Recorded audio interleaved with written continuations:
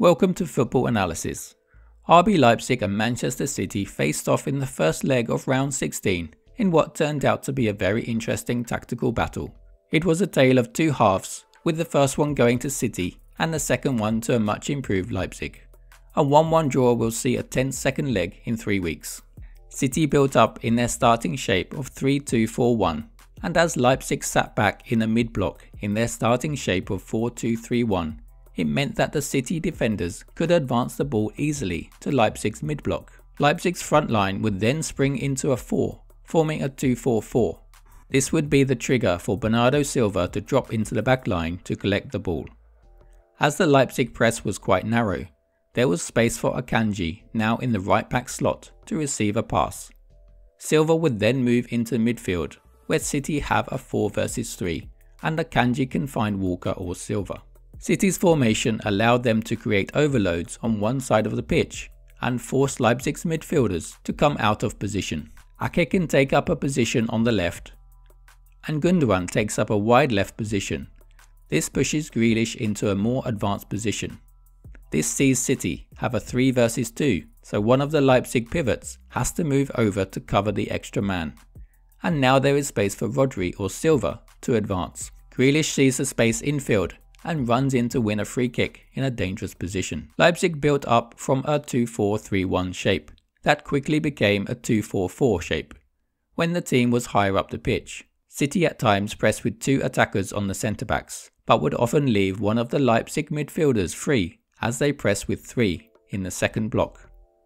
This could see a centre back or even the keeper bypass the press with a pass into the midfield. Here you can see City are not organised in their pressing and have left a midfielder free to receive a pass from the keeper. This worked out for City though, as a misplaced pass sees Mahrez get the ball and make it 1-0. As Walker was pressing the fullback, if Leipzig could get the ball forward quickly, Leipzig's 2-4-4 shape meant that Akanji was often covering the right back slot, and this meant that Bernardo Silva or Rodri would need to drop into the back line to make up a back four. Obviously it's not ideal to have Silva defending crosses the Leipzig coach Marco Rose instructed his players to be much more aggressive in the second half, and Leipzig had more possession. He changed Klostermann for Henrichs at right back, and this had a positive effect. His average position was much higher than Klostermann's. The goalkeeper took a key role in Leipzig's more aggressive formations. When Leipzig had possession in the first phase, his position allowed two centre backs to take up wider positions and this pushed the fullbacks into more advanced positions down the flanks.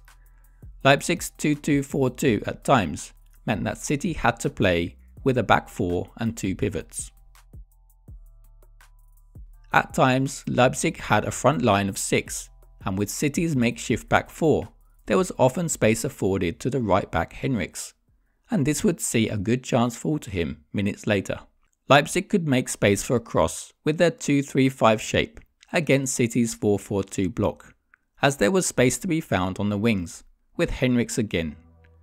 Clever movement from Szoboszlai off the front to get between the lines and create a passing angle for a pass out to Henrichs, where he whips in a dangerous cross.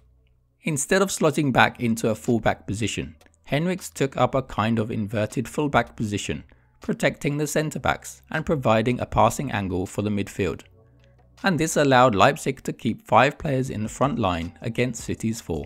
When an attacker drops back into a midfield position, he then reverted into the right back slot, as Leipzig flitted between a 2-3-5 and a 2-4-4.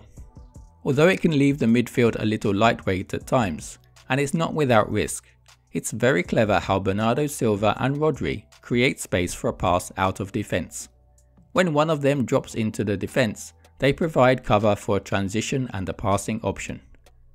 They then move between the lines to form a double pivot, and this provides a passing triangle and a route into the second phase, where the ball can go into the wide areas. Erling Haaland was again unable to get into the game with very few touches and no chances. This is sometimes when he's at his most dangerous, but City should be looking to play to his strengths at times.